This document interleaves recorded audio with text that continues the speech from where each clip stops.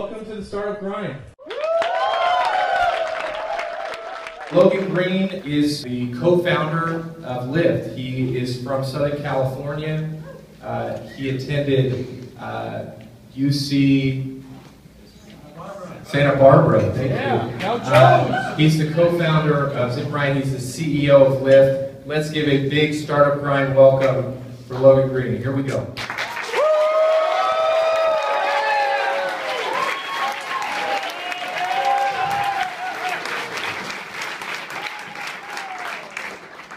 Tell us about where you grew up. Uh, tell us about. Uh, thank you. Uh, tell us about uh, your family a little bit. What did your parents do for work? That kind of thing. Sure. So I, I grew up in uh, Southern California, in, in LA. Um, my mom is a, a veterinarian for small animals. And so uh, she, when I was pretty young, she started a, a house call business. She got, got tired of working in the clinic she was in and decided to open up a, house call practice where she'd visit people's homes and check up on their you know, cats and dogs. Uh, my dad was a family practice doctor. So the two of them met uh, in a pre-med class uh, in undergrad. And uh, did you, as, as, as a child, did you start businesses? Were you entrepreneurial? Was that, I mean, your parents were, so was that something that just kind of seemed normal in your house? Yeah, so I don't, I don't think I really realized that I wanted to start, you know, uh, a business until uh, probably sort of college years. Um, but I got, got involved in tech at a, at a pretty young age. Um, I had a, an uncle who ran a, uh, like a, an IT consulting firm, and he kind of advised my parents, and I got a computer at a, not, not as young as possible, but I got a computer around maybe 12 or so. Yeah. And that, that got me hooked. I remember um, I loved science fair as a kid. And in my first science fair project with a computer, I remember uh, wanting to, opening up my desktop computer and seeing how much empty space there was inside. And I thought, with, with all that empty space, there's got to be some way to collapse that down and create a laptop. And it was the, the worst idea ever, right? Like, you know, anybody who knows how a, you know, a desktop is made knows you can't, you can't break up the pieces and make them fit in a different form. But I became, you know, uh, fascinated with this idea. And, and it was through that that I... Did you invent the laptop? I should have definitely included that. should add that to my bio. Um, so it was, it was through, through that project that I wound up getting uh, uh, introduced to uh, a guy out of school Yeah. who sort of be, became a mentor. Who was that? So it was, this, it, was, it was Dan, the computer guy. He has no last name. I feel bad, but I honestly can't remember Dan's last name. That's all right. Um, and he, he taught me, this was, you know, he, he taught me the basics of web development and programming, and that was really sort of what, what gave me my start in tech. And, and so were you, were you coding? Were you, were you building or were you just kind of fascinated with technology? Yeah, I was, I was building and coding. I actually uh, started doing, building websites for people. Yeah. Uh, I started a, I guess I did start a business in high school. I started a you know, small web development consulting business, uh, creating websites for uh, like a real estate agent um, and uh, a doctor's office. Just sort of, you know, really, really basic things. I also did uh, uh, tutoring where I'd go to uh, a a handful of uh, sort of senior folks who are trying to learn how to use a computer uh, and teach them how to use one. And that was probably the hardest job I've ever had. This is like in a rest home or this is like at people's homes or what? Yeah, at people's homes. Okay, that's cool. And so as you were going, as you were going into school, what did you think you would be? What, what did you think you would do?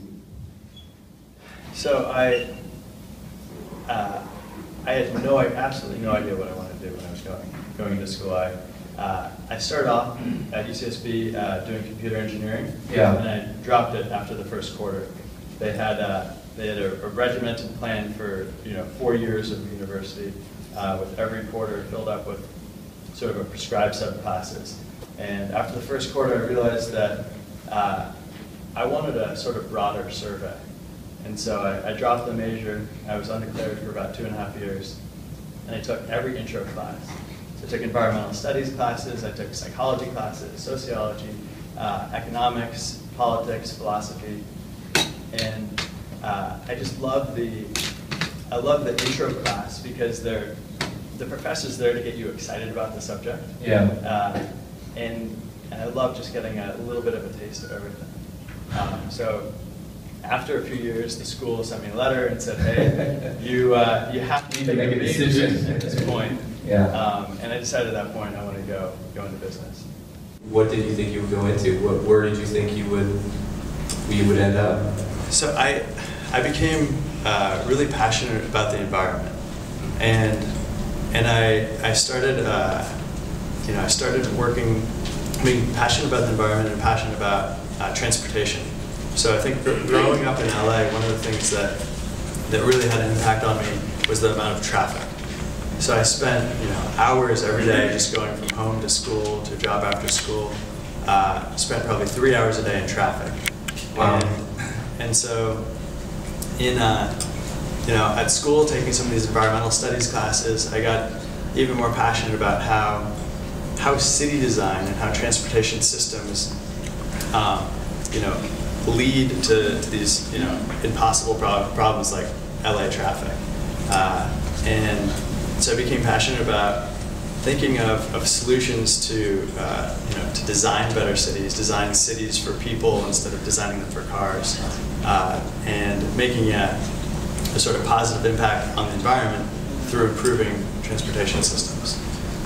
And so as you're, you're going, you're sitting in traffic, you're kind of, you're just kind of brainstorming, hey, I- I've got to, if this is a problem, I'm now, I'm now living this problem and all these people around me are living this problem. Yeah, you're, you're, you're sitting in a car and you look around you on the freeway. Everybody's stuck in traffic, going nowhere. One person per car. Yeah. It just it, it feels like something's broken, and and so when I was uh, I wasn't I wasn't totally sure sort of how to where to direct this. But when I when I went to school, I, I got rid of my car. I decided to leave that at home and I, I wanted to make an experiment out of myself. I thought, you know, in college I'd, I'd only be able to come up with really kind of creative solutions if I felt the pain of not having a car. Yeah. And so I left it at home, took the bus, rode my bike around, which is you know very easy to do in Santa Barbara. Um, uh, my girlfriend was down in LA, so I would take Greyhound and Amtrak uh, down to LA to visit her. And Still your girlfriend? Uh, my wife now. Is that right? Yeah. Okay, good. Yeah. She was, could have gone really, you know, bad place, but I'm she was a trooper. She'd come and pick me up from the Greyhound station in downtown Wow, that is, she is a trooper. Yeah. Um, so it was, it was a couple of years of sort of uh, explore, like thinking about transportation, making this example out of myself. And the, the first project I started working on was building a, a zip car like car share program. And I had, I had heard about it. I was involved in a city planning initiative Yeah. um, for Santa Barbara, and I had heard about this concept of car sharing. Uh, there was City Car Share up in San Francisco. There was Flex Car in Seattle. Uh, there was Zip Car, which is at the time just in Boston, and it was this this very new thing. Um, and and these city planners were were so excited about the possibility that you could have ten people sharing a car instead of everybody having to own their own. Um, so I I started working with the school, trying to get them to sponsor the program and then pitching city car share, flex car, zip car, saying the next city you've got to come to is Santa Barbara. And Santa Barbara is a pretty small town, and UCSB was, was not on their expansion roadmap. so I didn't uh, I didn't have any luck convincing any of them to, to come out. Zipcar I think had about 100 cars in their fleet at the time. Wow. Um, and, and so I, I spent the, the next two years um, building a sort of homebrew system. Um, and that was Doing the web development yourself? so I did I did the web development. Uh, we wound up uh, partnering with the hardware provider for FlexCar, Uh-huh. which is ended up getting uh, sort of merging with Zipcar. Their hardware provider was actually in Santa Barbara, so we got their hardware, outfitted a handful of first generation Priuses, um, and then uh, you know built built our sort of system for making online reservations.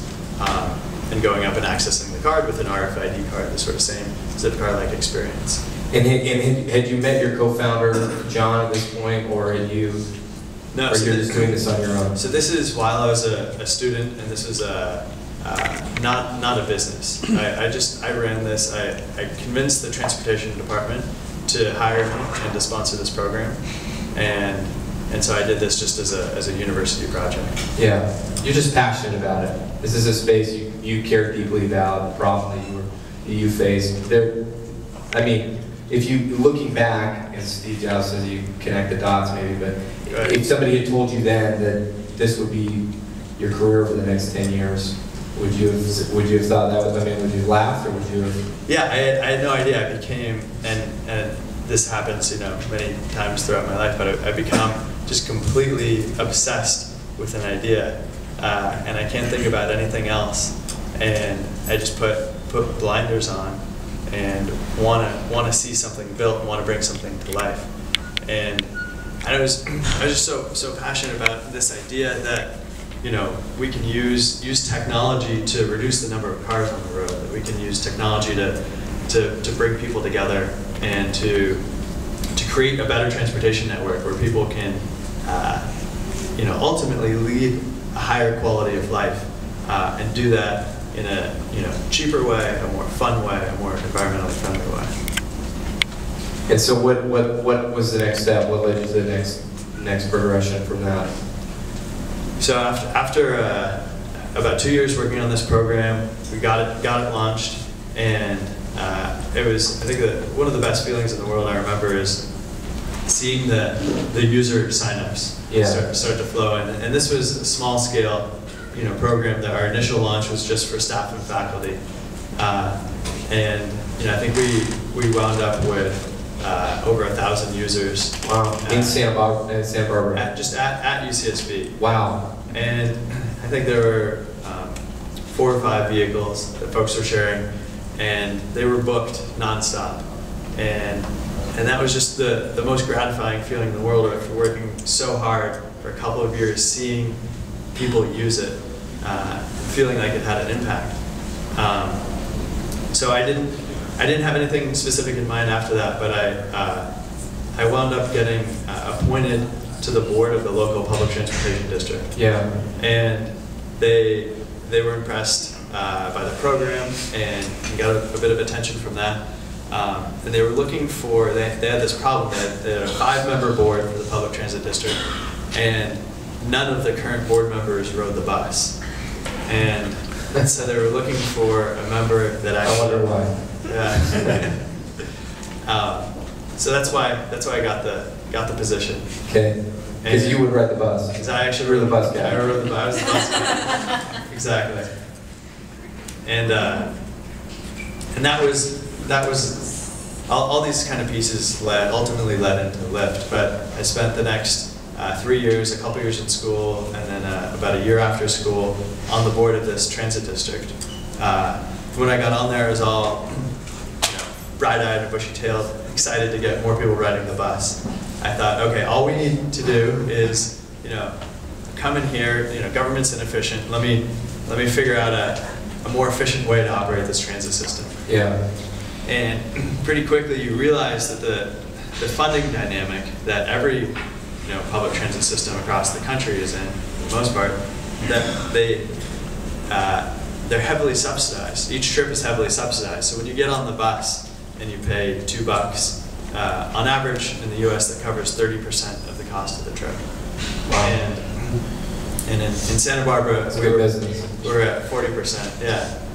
So you're you're designed to lose money. yeah. Uh, and then you have subsidy, you have local, state, and federal subsidy uh, that covers the rest of it.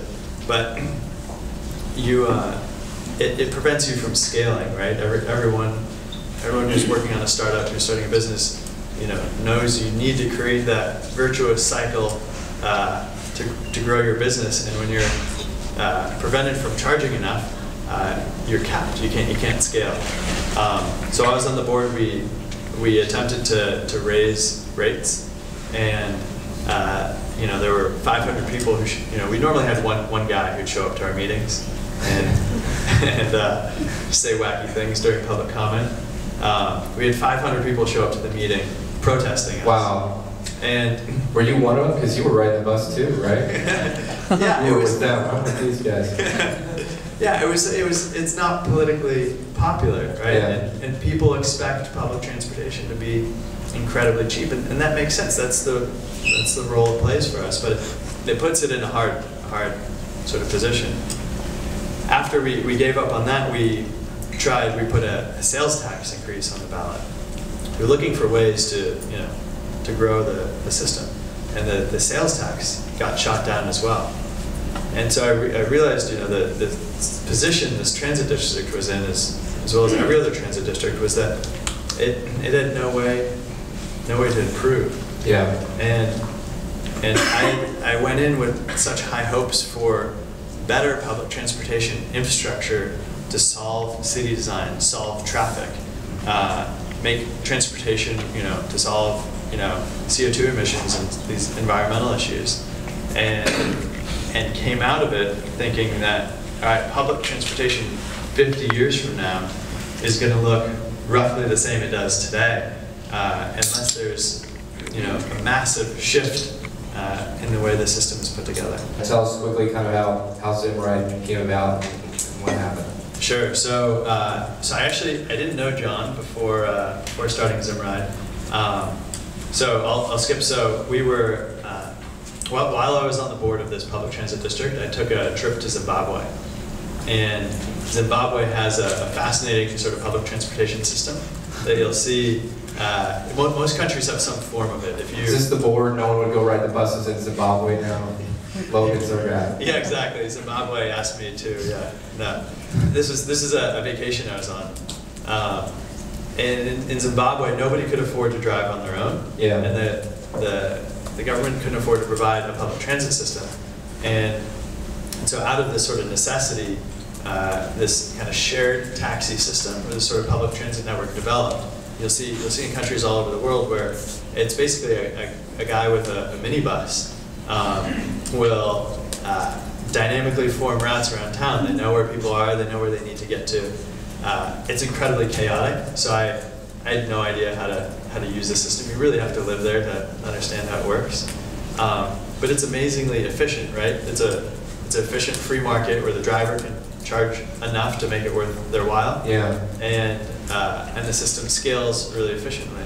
Um, so I came back just kind of with my mind blown that here, one of the poorest countries in the world, had a more effective public transit network than we did in Santa Barbara, which is one of the, the wealthiest Yeah. in the world.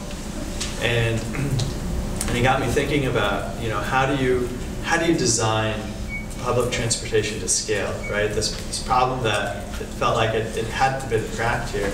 How do you create a network that uh, gets better the more people who use it, right? That where the a small sort of initial user base can organically spiral into into a large one. Uh, and I, I became obsessed with this idea of essentially crowdsourcing a public transit network, right? Going back to that kind of feeling of being stuck in traffic and looking around you at all those empty seats that felt like a, a massive opportunity to make each one of those drivers, you know, like the bus driver in Zimbabwe, you know, create a network where uh, anybody can get paid to be a driver. So we, uh, I, uh, you know, just on the on the side, I was, uh, I had this after college was was a really tough year in my life. I uh, I didn't know exactly what I wanted to do. Um, I was uh, targeting this job at the university to manage a green fund, you know, invest a green uh, this fund in environmental projects on campus. It took them a, a year to fill this position. So I, I essentially had a year of unemployment, uh, which was, you know, really rough when you're trying to figure out. I wanted to get started. I wanted to be working on meaningful things, and uh, and I, I felt like I was I was sort of being being held back, being just put in this this this like holding pattern for a year. So it was during that time where I had uh, a lot of, a lot of spare time that I, I started working on Zimride, and uh, You're still in Santa Barbara, or you, have you now moved up here, or? still in Santa Barbara at Yeah. the time. So, start. Facebook was had just released the first version of their platform, um, and I saw that as a as an incredible opportunity to help people establish trust online.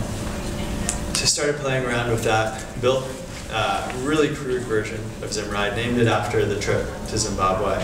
Um, put sort of my personal story up there. My, my marketing plan was to email everybody I knew. Um, and, and out of that, uh, one of my, my best friends from middle school uh, connected me with John Zimmer. Huh. So John Zimmer had been working on a, a concept around the, the same idea. Uh, only he, he was calling it the, the Waddle was, was the name of, uh, of his business. But, but it was exactly the same as Zimride. And Zimride is a, you know, a rideshare matching site. Um, you match, matching two people up taking the same trip. Um, so he was working on a business plan. He was uh, in investment banking. He was at Lehman Brothers in New York, um, doing commercial real estate in 2007, 2008. So as his industry Good call on his part. sort of, yeah, his industry started slowing down. He had a, a little more spare time uh, and was developing this concept. And so our mutual friend paired us up since we essentially wanted to, to do the same thing. And so, and so you, and so the, the idea you leverage the Facebook platform, and, and, and I read this somewhere that you kind of, unlike Craigslist where it becomes this like very scary proposition to share a ride with some random person on Craigslist, you're taking that element out of it kind of making it almost, you know, hey, this is a friend of a friend or a friend of a friend of a friend, so you kind of make it more secure, it's more fun, it's more interesting. You kind of those early elements of community, it sounds like, too, that, that you guys have now. Yeah, yeah, exactly. So it was, you know, you could see if you had friends in common with the person, you could see their pictures, you could see, uh, you know, Facebook originally had a lot of emphasis on the verified networks. So you could see uh, uh, they had to have a, an email address at a university, right, to join a university network. So there were all these kind of screening factors that Facebook had in place um, to help people get get comfortable Yeah. establish trust online, and then take that relationship offline. Um, and you know, I think like any any marketplace, you have to have trust in the people you you transact with. Um, but once you once you get comfortable with someone, then you're, you know, it's it's a yeah, it's a big step to let somebody in your car, right, or to get in uh, somebody else's car who you don't know. So we, we put a lot of a lot of emphasis in how, you know how we design those sort of trust factors. So in, in mid 2009, you guys get funded by the Facebook Fund, right? One of only a handful of companies that did that. Um, and, and I spoke with uh, I spoke with uh, Manu Kumar recently, who was talking about you, and he said that he met you and John about three weeks after you had arrived in the valley. And he he came to you. You guys were working at your apartment at the time. Is that right? What did you Yeah. call What did you call that? So we called it uh, the the apartfice. So we uh, And for those that are maybe not English as a first language in here, that's a yeah combination of apartment and office. So it was uh, uh, both my apartment uh, where I lived and the, the living room didn't look like a living room. We had you know desks and chairs. Um, so it was uh, we it were was just you and John. Yeah, so John, uh, John stayed there for a few months and then actually got, got another place. Okay. Um, but I would, I'd, I'd wake up early in the morning and shower, close my bedroom door. I wanted it, so we, we had, I think, two employees at this point. Um, wanted it to feel very professional. Was very concerned that people would feel uncomfortable working out of my apartment. So it really, it really wound up feeling a lot more like a, like an office than an apartment. I felt like I was living in an office. Well, you, yeah, well, it was your apartment too, so that would be more easy for you. You think other people felt like that too, or just you? No, it was, it was, yeah. Pretty professional. Yeah, it was, it was pro- as professional as you could make an apartment. But what's interesting too, that you, I mean, you had investors coming into your apartment, or at least Manu did. Yeah. And, um, you know, this is a pretty, you know, this is one of these guys in Silicon Valley, if you could pick, you know, the investors you had, he would be one of the ones you would, it would be at the top of your list. But I, did that cross your mind at all, or, you know, hey, here we are in this, you know, in this apartment, we're Yeah. trying to get this thing going, you know, you know, was there any thought there that, hey, we need to appear bigger, we need to, I mean, like Paul Graham talks about how when, he, when they would bring investors into his apartment, they would like you know, load in the computers into the apartments that look like there's a lot of people working there. Yeah. Um, you know, but was there anything you did, or did you feel like, hey, this is what we are, and we just, we are what we are? and- Yeah, we, so, so Manu Kumar is, uh, I think, one of, one of the cheapest people I know. Uh, and he, he is like incredibly excited about anything that a company can do to, to save money and cut corners. So we had, uh, I think before we met with him, we had, we had uh, read some articles about him, sort of startup stories. He, he had successfully started and sold a couple of companies. Um, and he talked about, you know, how he went, went years, you know, living on, uh, you know, $20,000 a year uh, salary and, uh, you know, work, working out of his apartment. This, this is like, this is absolutely something that Manu uh, right as well as. identified with. Yeah. When did you move up here? What year? Yeah, so we, so we moved up here in, in 2008. Okay. We, we had uh, $30,000 of seed funding from uh, a first, a first angel investor, Sean Aggarwal. Um, Sean was a, a VP of finance at eBay. Um, and he actually, uh, he sent me a, a cold email um, back when, when Zimride was a, a side project.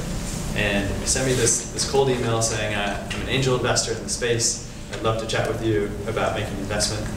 And I got this email. I was, you know, down in Santa Barbara. Uh, didn't really know what an angel investor was. I thought this was probably some sort of, you know, Nigerian scam where he was going to be going to be asking in Zimbabwe, your email. Yeah, yeah, exactly. Uh, so I figured, right, if he's going to invest, he's going to probably, you know, need wire information. And so all of these scams start. And and uh, and so I did all these all these sort of uh, tests to, to check him out, to make sure he was legitimate.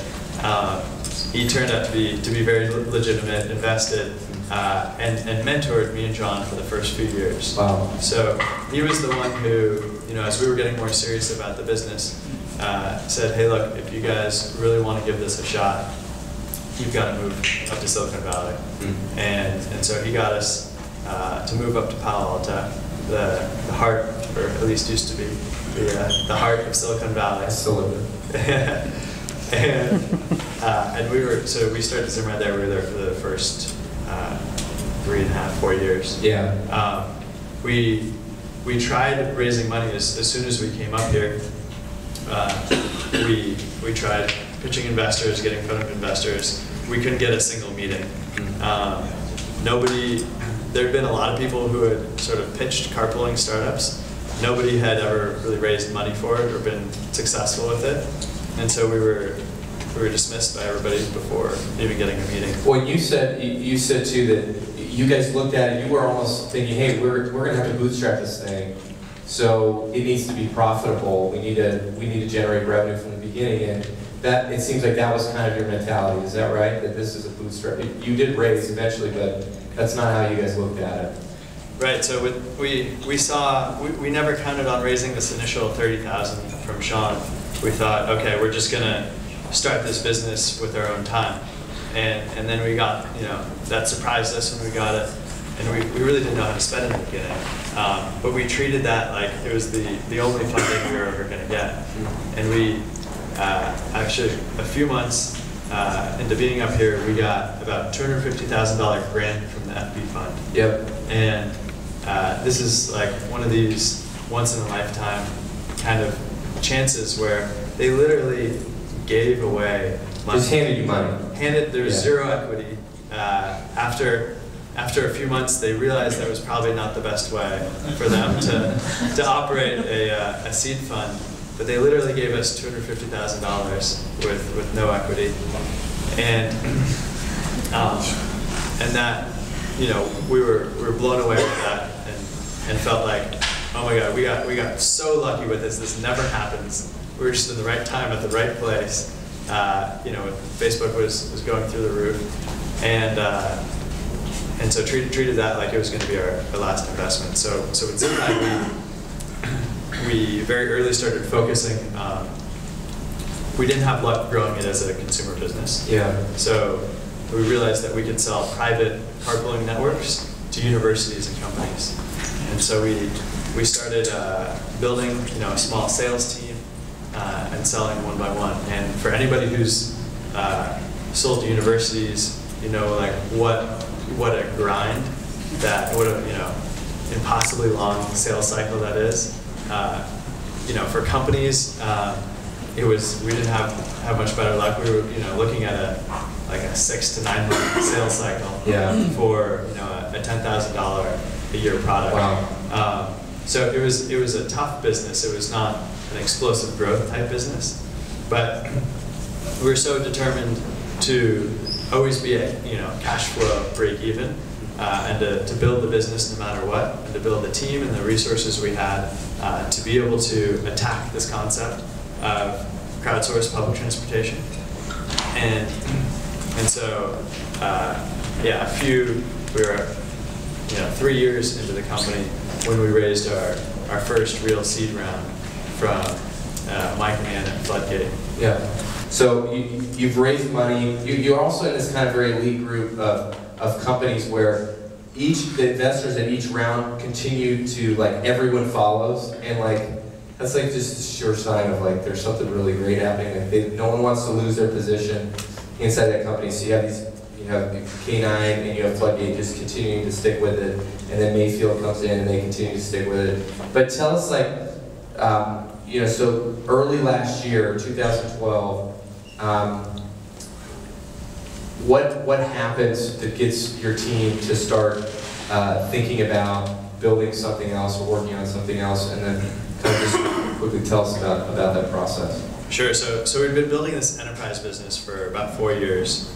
Uh, 2011, we raised our Series A from Mayfield of uh, six million, and we, we finally had the the resources where we felt comfortable. Uh, really swinging for the fences, right? Everybody tells you to swing for the fences when you're building a startup, but often if you swing for the fences too early, that just means going bankrupt. And so we were always we were always very cautious about making sure that we had the company intact, it was sound. But when we finally, when we raised the Series A, we felt confident enough to actually swing for the fences. And we, uh, so we had this enterprise business that was, that was running uh, smoothly, generating, you know, some significant income. Yeah. Um, and we, we started hiring ahead of the curve and starting to try and figure out Zimride Consumer. So we were, we were maybe nine months to a year into trying to figure out Zimride Consumer. We were selling bus tickets, we were doing ride sharing to Coachella and concerts. We were trying anything we could get to crack this kind of consumer code and go after this big, you know, big vision that we had for, you know, creating a new form of transportation. And out of that, we had uh, we had a three-person mobile team, and they had spent the last three or four months uh, building, and then we released uh, Zimride Mobile. It was a HTML5 mobile web app. Uh, we worked really hard on it. We were really happy with, with how it was beautifully designed. We ship it, and it does nothing for our numbers, right? There's no there's no big takeoff. Everybody had talked about okay, you know, ride sharing, carpooling. This this feels like something that should happen. Was that was it something your users had asked you to do, or was it just something you guys just felt like right to the team to, to build this thing? we felt like you know the we felt like the vision, like how what Zimride would look like in five or ten years, would involve someone stepping out onto the curb and pulling out their phone and buying a seat in a car that was passing by. We Yeah. Felt like it inevitably would would get to that vision. When we started it, not very many people had smartphones, and you know by the time like 2011, everybody had smartphones. It felt like okay, it's it's obviously about mobile. We need to figure it out. And and Zimride was just too complicated of a product. It was it was this flow similar to Airbnb where you you message someone back and forth and you work out all these details. Where am I going to pick you up? Uh, what sort of luggage do you have? Where are you going? Um, how many people are with you? There there are all these details that would take on average I think about eight messages back and forth for a Zimride to get arranged. Yeah. And so when we brought that to mobile, it was just too complex an experience to, to really take off. So, so we're about, uh, we, we just shipped this. The next thing on the roadmap we had was to do a native version of Zimride Mobile. So we're going to take the same design we had for the app and just you know do a, a iOS native app, make it a little snappier. And uh, there was a hackathon where my co-founder John was working with Frank, uh, the lead designer. Internal. Internally, yeah. they paired up and they they were working on uh, came out of the hackathon to spend spend a day working on this project called uh, On My Way. That was going to notify you, sort of like Glympse. You'd, you'd be able to share your location with someone and they'd watch you coming towards them. And it's pretty different from anything else we had done. But uh, the mobile team got, got really excited about it, and they said, "Hey, let's let's rethink, you know, building this native version. Let's put the brakes on that. Like we're, we're not too excited about it. You know, can we uh, take a little diversion and go build this on my way thing? And it seems like it'd be fun. It'd have some mass appeal. Uh, might help us sort of figure out mobile. And uh, I wasn't like too excited about the idea. I said, look, this is interesting, but let's, if we're gonna build something else, right? If we're gonna, gonna go on a, a tangent here, let's like, let's think it through. So we, we spent about three weeks and we iterated through three different concepts. We did this sort of design exercise and spent, wound up spending about a each, a week uh, on each different idea. And The, the idea was how can we really kind of capture the, the magic of mobile and have that relate back to Zimride. And so after three weeks, the sort of third idea and the idea that really stuck um, was the, the lift-like experience. Hmm. And we were originally calling it Zimride Instant. Um, Lyft is better. yeah. Right, know that. we, uh, there, this guy, uh, Harrison, um, was, was interning uh, that summer, and he, uh, he came up with the name Lyft. Zimride, Zimride Instant is terrible and confusing. Um, You're like, well, you're the intern, so. so figure it out. Yeah, figure it out. That's a great name. Um, so what happened? You launched, you launched the product in June, is that right? Last year, yeah, so we launched, we launched. the first version. Yeah. yeah. And what happened in the first four or eight weeks? So the first four or eight weeks were uh, pretty chaotic. We had we were still running Zimride, right? So we were splitting our time between both. Uh, I mean, it was the same company, but between both products internally. And we had you know three people working on Lyft. We were we were all splitting support shifts. So all of a sudden we, with Zimride, we had all sorts of bugs, right? And it didn't matter. We were just iterating as fast as we could. Facebook slogan, right? Move fast, break things. We didn't care. Uh, it, it wasn't real time, right? So if we broke something, it didn't matter. People could try back the next day and it worked. With Lyft, you have this whole different set of sort of tech problems where it's real time, right? People people need it to work and it has to work much better Yeah. than you know traditional That's what perfectly, basically. Yeah. Yeah. Uh, so the first first couple months were were a bit rough on the technology side, but people, even with it in its kind of crude state, uh, people were connecting with it. It was like when we built Lyft, everybody started coming to us saying, "I had had, you know, they had had this idea, right?" It was like we we tapped into this sort of piece of people's imaginations that they, they thought something like this was possible, Mm. and we were just able to, to bring it to life. I think it's really fascinating to hear this whole journey because you're like an overnight success, you know, 10 years in the making. I mean, I, I'm, I'm trying to think of like who in the world has maybe thought more about this problem than you, and they're probably, if anyone, it's probably only a handful of people. And so uh, it's very interesting to see like, you know, in the, in the early 2000s, you're passionate about this idea, and then you have this vision for like how the future is going to look, and then you kind of create and tweak different versions of that along the way, and and then not until 2012 does the kind of the technology in the world kind of catch up to finally, so you can create the product that you had kind of hoped for in the mid 2000s. Does that seem about right? Yeah, totally. I think we, you know, I, I'm glad we started when we did because we got Yeah. to think about it and put ourselves in this position.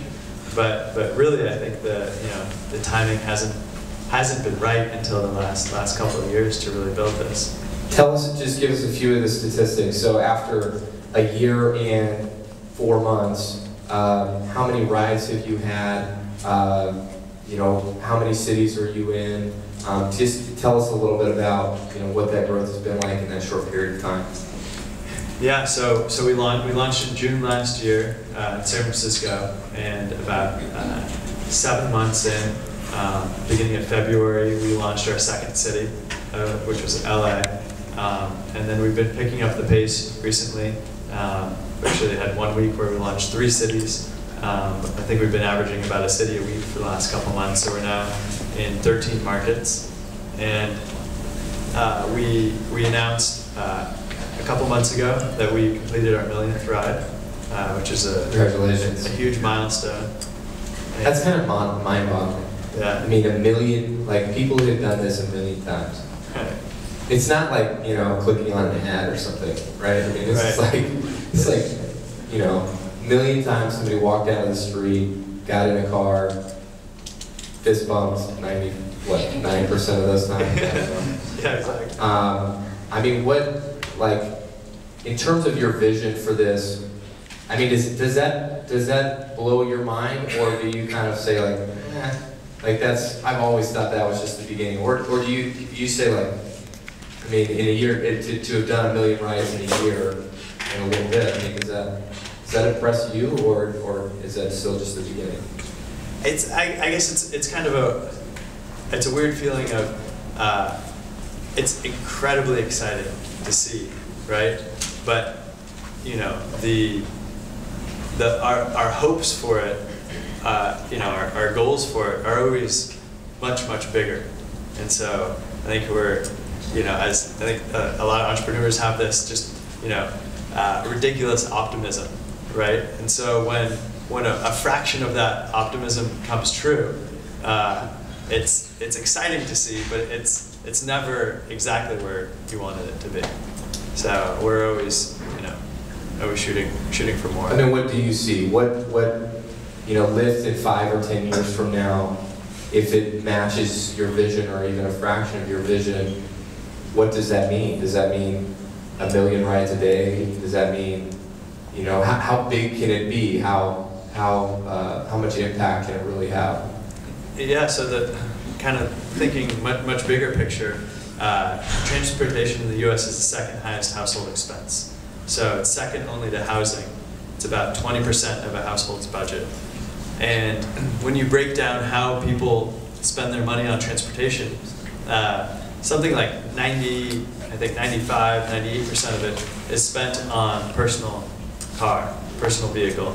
So, you know, the fraction of that budget that's spent on you know, airplanes, taxis, etc., is is tiny, and and really what what we the world we want to sort of bring to life with Lyft is a world where car ownership is optional, where you don't need a car to live an extremely active life, um, and you can get around without one, and and so this is you know a you know a 1.5 trillion dollar market just in the U.S. Um, and so we want to, we don't want to just be, you know, a sort of uh, taxi cab. Is that big enough for VCs though? It is. Yeah. They're, they're all right with it. Sorry, that's a Silicon Valley joke. Nobody got. We don't, so we don't want to just be, you know, in the, in the cab market, right? That's not, Yeah. that's not what the, the vision for Lyft is. The vision for Lyft is to uh, fundamentally change how people travel and uh, create, create much more affordable, much more efficient transportation networks. So the, I think the ways that, that you'll see Lyft evolve down the road will, um, will involve a lot, a lot more of that.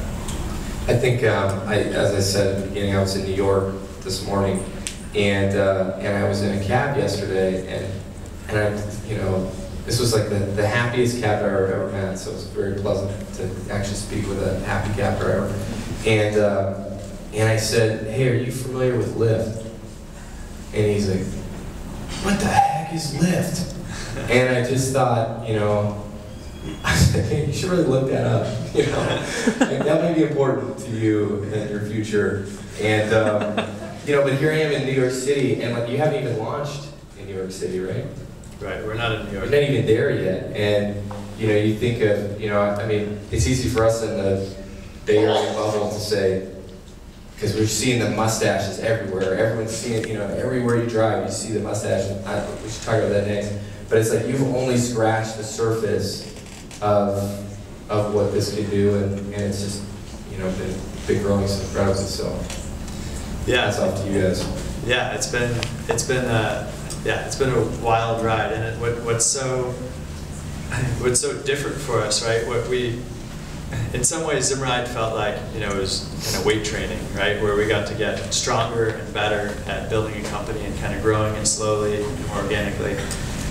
But with with Lyft, all of a sudden we were you know hit with this massive scaling challenge, and that was you know massive scale was uh, never anything we had, we had dealt with in business before, and so that's been uh, you know just it's it's crazy when you know we when we launched Lyft we could uh, you know onboard you know five or ten drivers uh, you know in a week. That was that was easy. Someone could handle that part time. Um, but then when you're trying to onboard, you know, hundreds or thousands of drivers a week across all these different markets, uh, we had to kind of completely reimagine what we were doing. I want to just um, touch on a couple of points, and then we'll do some questions from the audience, and maybe we could just uh, talk quickly about a couple of these things. First thing was is is the mustache and startup marketing. I wonder, and did you guys ever consider doing like a toupee for the cars, or was it always like the mustache was the one to go with, or there other executions, eyebrows, or you know? There, was there was no other uh, facial hair or, or otherwise. Uh, Where did that come from? Where, where, you know, it's such a simple idea. So we we uh, we actually had had mustache. We were just looking at some old company photos, and we had had these. It's made by a company called Carstache, and we had had these uh, Carstaches. We had given them away with Zimride uh, for a few years before, uh, and we just it was it's like a ridiculous concept, right? To sort of put a mustache on a car, personify the car. Yeah. Uh, and and with with Zimride, we were always we partnered with Zipcar on campuses, and we were always incredibly. We'd, we'd go to college campus where, you know, we were hustling really hard to market the program, and uh, everybody knew about Zipcar, and nobody knew about Zimride, Huh. and and we thought, look, Zipcar. We were working with their marketing teams, and they weren't doing anything so brilliant on the marketing side. Yeah. But it was this one thing. It was the fact that they had parking spots Yeah. with Zipcar labels, and they had It was on their Zipcar cars. on the car. Everybody knew about it, Yeah. and so we were, we were looking for. You know, we were so jealous of that for years with Zimride. With Lyft, it felt like okay, now let's let's fix that. Let's figure out a way. Yeah, we're starting fresh with a new brand. We're gonna do this right. Yeah, exactly. And we, so the first thing we tried, we put uh, sort of magnets that said Lyft on it on the side of the car. And it looked, it just looked kind of janky. Uh, It looked like a magnet. it looked like a magnet. It, it looked like, yeah, you were, you were slapping it on to, you know, like. Like a lawyer or something. No offense to my mom, but something that she would slap on her car to, you know, go to. Yeah, for her veterinarian practice. Yeah. Yeah. Um, and and so uh, so my co-founder John just like one night was saying, hey, like joking around, why don't we put a mustache on the car? and we tried it, and we always figured, you know, we did it for you know, a few weeks, and then I was saying, okay, you know, that's this has like been really fun. But we should probably, you know, stop doing this ridiculous thing now. And John was like, no, no, no, we got to keep it. And Were these ones you had just laying around from this old promotion, or did you just, did you order some that, that you We, could kind of we, we ordered some. Yeah. Yeah, we had had some, uh, some actually orange mustaches sitting around, but, uh, but those were, were sidecars colors. So we, we ordered a new batch to, to match with the Lyft brand. And, and what happened? Did it just resonate with the drivers, or was it clear at the beginning, or? The impact it had at the beginning was really fun. Drivers felt like celebrities. So nobody had ever seen this before. It like turned heads like crazy. Like now it's it's kind of normal in San Francisco, right? And you see one, it's like, uh, you know, nobody looks twice. But in, in a city, and we see this in each city that we go to, is like a driver is going down the street and everybody turns and looks at it. They're pointing, they're taking pictures. Kids flip out. Kids love the mustache more than anybody. They'll like they'll be one at a stoplight and a kid will walk up and pet it.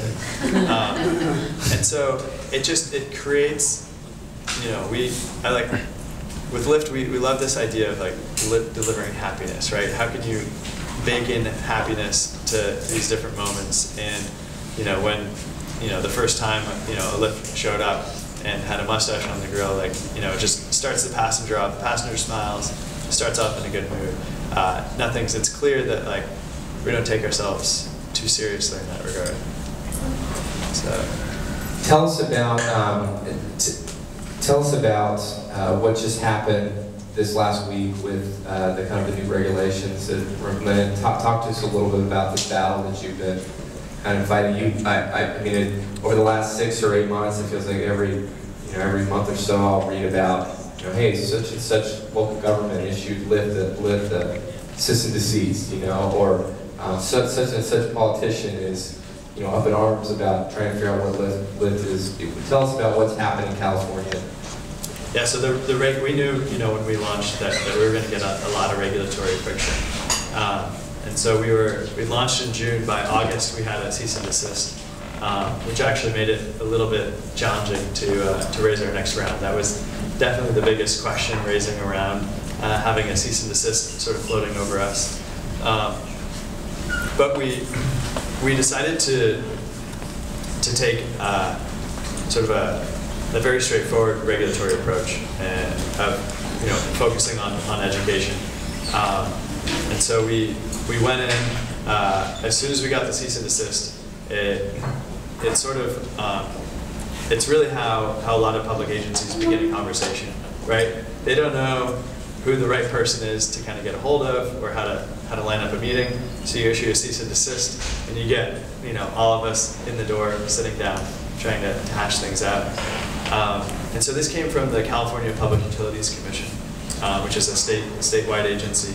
And what they really care about, they reg- regulate the utilities, uh, PG&E, places like that. They regulate water and they regulate transportation. And their goal is public safety. So what we were able to break down, we, we created this matrix. We actually uh, recently published this on our blog, but a matrix breaking down uh, limo regulations, which the PUC regulates, uh, taxi regulations, and then Lyft's internal standard. And uh, Lyft's standards actually went considerably beyond what existing systems were required to do. So for example, you can have a, a criminal background, right? You can have uh, murdered someone, have just gotten out of jail, uh, and go drive a limo. Um, you can have, uh, you know, two DUIs on your license and, and go get a job driving a limo. Uh, taxi Wow. cabs kind of deal with that stuff on a case-by-case basis, where an administrator will sort of make a decision if But you can still get through you can still get through it. Um, and so we had like a stricter screening process uh, and the same or higher level of insurance. So we, we created a million dollar insurance program for Lyft, uh, which is actually really challenging because we had to create this sort of type of insurance from scratch. Uh, and limos, you know, were required to carry 750,000. So we, we met or went beyond each of their sort of safety standards. Yeah.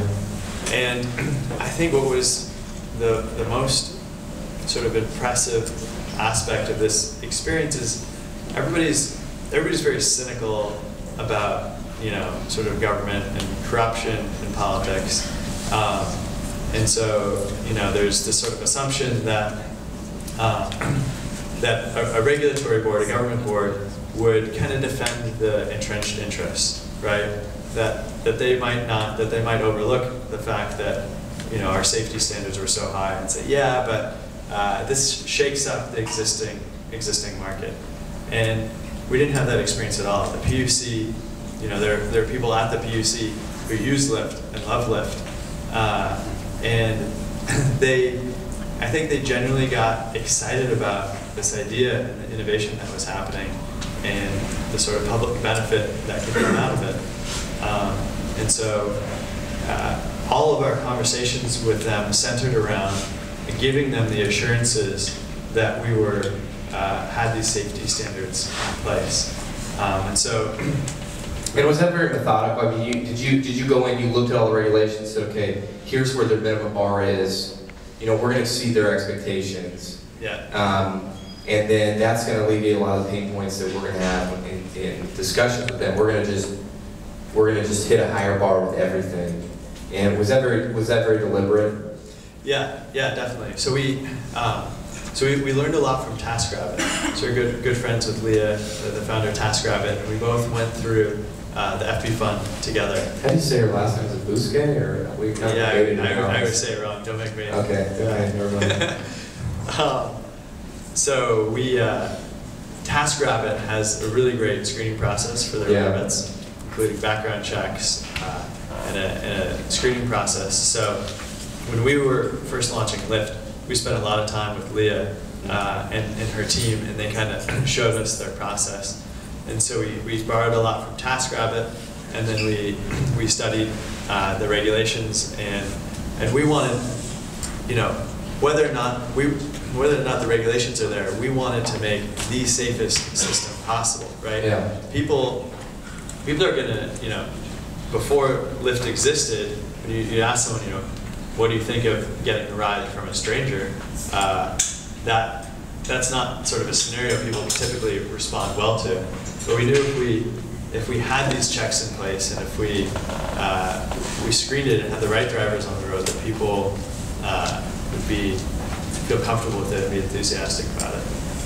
Um, if you have a question for Logan, why don't you come right over here and I'll bring the mic over, uh, and we'll do a few of those. I'm gonna ask one more, and that is, um, you know, if I'm an entrepreneur and I wanna create the future, I wanna create something that, you know, it's not, is not happening today, I wanna create something that's happening two or three years from now. How do I get myself in a position to, um, to build that thing that's coming, you know? And, uh, like, what, it, as you, as you meet with other entrepreneurs, uh, your own experience, what can I do to kind of see into the future to know, like, this, this is, this is gonna be relevant in a few years from now? I mean, how, how, how do I do that? Um, I honestly, I honestly don't know. I mean, it took us, uh, it took us so long, right, to, to figure out uh, the sort of formula that came along with explosive growth. Yeah, Um, I think, I think one of the, the biggest kind of le- lessons lessons learned from this is uh, to to start really incrementally with something that's that's not so different from the way that, that people do things today. Um, so you, you know when, when you're looking at, at, at a startup, you can either sort of choose to enter an existing market or to create a brand new market. And most people, when they're, they're kicking around ideas, get really excited about these concepts of essentially creating a whole new market. Yeah. And you can always tie that back and say, yeah, this, you know, this is going to pull out of XYZ market. But it's really creating like a completely new and different type of user experience.